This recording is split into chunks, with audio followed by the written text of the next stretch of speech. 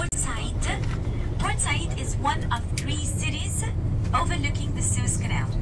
The one in the very north is Port Said, then 100 kilometers south of Port Said is Ismailia, and then another 100 kilometers to the south is Suez.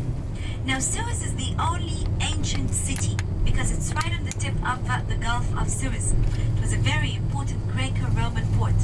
But both Port Said and Ismailia new cities, fairly new cities that were uh, planned when the Suez Canal was dug. And I will tell you in a while the history of the Suez Canal. The population of the three cities together is 1.5 million. Port Said is the biggest city. Its population is nearly 750,000.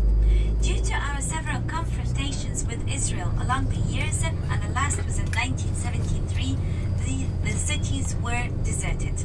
President Sadat, our third president, to encourage people to come back and settle in Port Said, he made Port Said a tax-free zone. So most of the people, the population of Port Said, work in trade. You see so many shops that sells everything and anything that comes from the port. I want you to enjoy your drive through Port Said. Before uh, before I start my lecture. So today is a Friday, it's everyone's day off. Remember, this is a, a Muslim country where Friday is the weekend, it's not Sunday. That's why deserted. You will also notice this in Cairo. You'll think that Cairo is uh, the most well organized city in the world. But wait until after the Friday noon prayer, you might change your mind.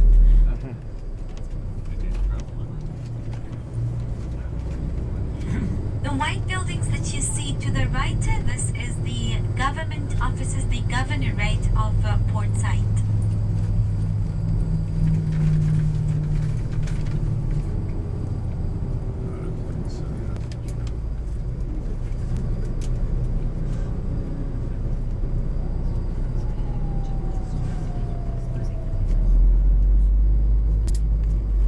So some of the buildings here, the ones that you see uh, these are uh, really old.